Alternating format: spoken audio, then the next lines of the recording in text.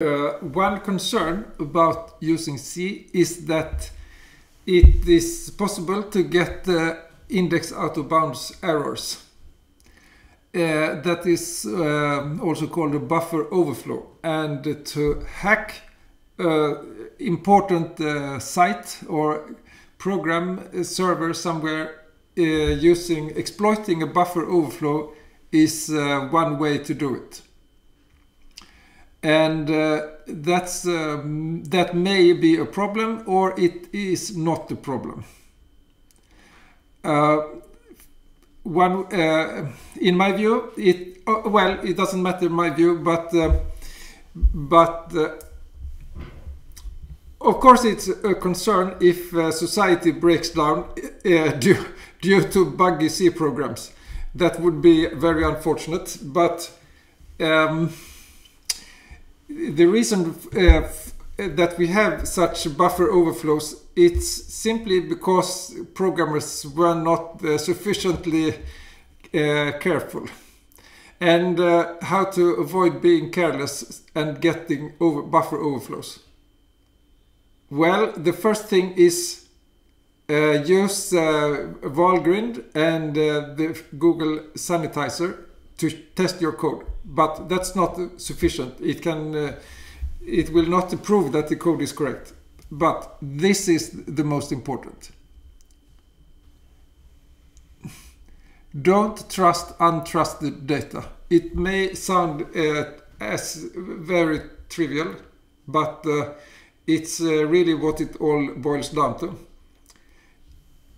Um, buffer overflow, it, they typically happen if uh, someone uses a function that doesn't check for the size of a buffer, a buffer that's uh, usually um, an array or a pointer to some data, of course, uh, but just so that we use the same words.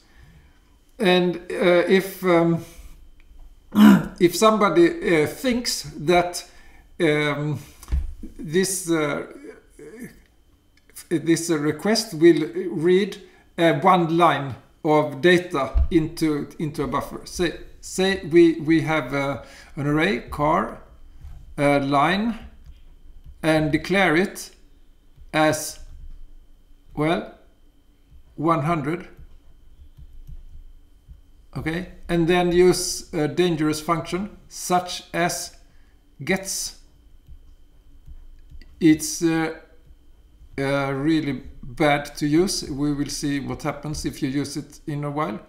But what the, what this does is it uh, reads input from standard in and uh, writes uh, everything uh, here until it comes to a new line. If it comes to a new line.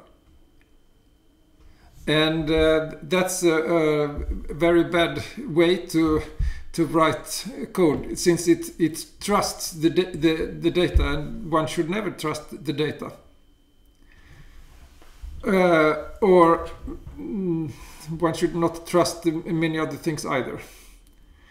Uh, okay, so if we get unknown data, then how, should we uh, deal with it? Well, we have to check uh, the sanity of of, uh, of a request so we can uh, we can use an uh, um, well I, I, mean what we need to do is to is does this make uh, make sense? Or is this a unreasonable request and uh, it should just be uh, rejected? Okay. So uh, there is also a problem of overflow how can we know that there is an overflow? As we just saw uh, in the compare function, which looked uh, on the in the previous video uh, for QSort, uh, then it looked uh, very harmless to do uh, like this, but it was not. And so when there is a risk of overflow, and we really cannot tolerate having an uh, signed overflow, then we must check it explicitly. That's the only way. And uh, uh, how to do that, that's a, a, really uh, detailed part. I mean, it, it is not trivial to, to check everything, especially, for instance, multiplication. And um, what we, what we need, well, I will not cover it in, in this course, but one can test in advance when you have the the, the data in the variables to see if this will result in an overflow. Uh, another way is to use the sanitizer and uh, as, I, as we saw in the previous video um, to check if we think that our program uh, has no overflows. For instance, in the int-opt program or, uh, or the other assignments, or actually the assignments, we can test that and it's not the super big risk or I mean we can get the signed overflow if we in RPN for instance but it's not the well it's quite harmless. So it's it's not the um, worthwhile to check this but if uh, you have um, a, pro a server and or a program that is really uh, critical to uh, society, then it had better work. Okay, so how can we check uh, this in uh, Java? Does it give an exception if there is a signed integer overflow? Is this a problem in Java? For sure it is. And what one needs to do is to find a Java virtual machine which does this these checks. Uh, I don't know if there is one, but um, maybe there is, maybe there isn't. Uh, if there is, then we can do, do the same things as in uh, with the, the sanitizer. Okay, so um, that was that about avoiding uh, buffer overflows. Um, there is a function called sprintf it takes uh, it behaves exactly as printf but it, instead of printing to uh, standard output it prints uh, everything to a buffer in buffer instead.